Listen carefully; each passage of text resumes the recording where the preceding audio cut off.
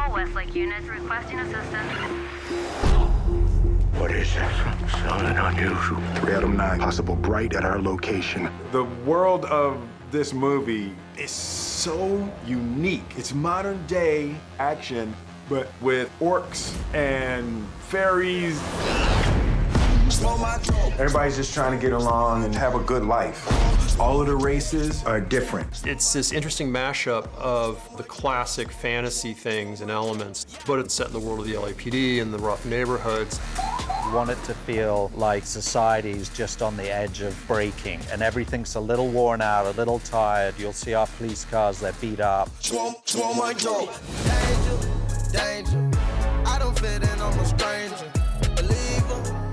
The biggest challenge in this film has been to integrate the fantasy elements into our society. And there's a lot of R&D that went into developing the look of the world. David had these graffiti artists graffitiing all the sets, not just in English, but in Orcish. That's a real alphabet, a real language for the orcs. In this world, it's very hierarchical. You have the elves on top and the humans are in the middle. And then sort of at the bottom, the real blue-collar guys are your orcs. And elves basically own downtown LA, and it's a very fancy, posh place. I hate Elftown. Besides being the ruling class, they have special powers. You don't want to have an enemy in an elf. I did a lot of karate training and as well as like all the physical working out. I've been able to do things in a fantasy world that I probably wouldn't have been able to do before. It's just this beautiful blend and collision of these worlds.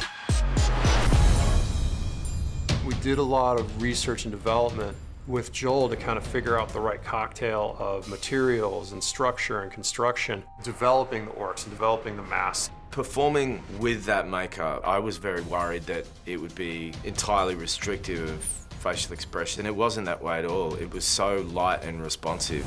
Do not wink at me like that.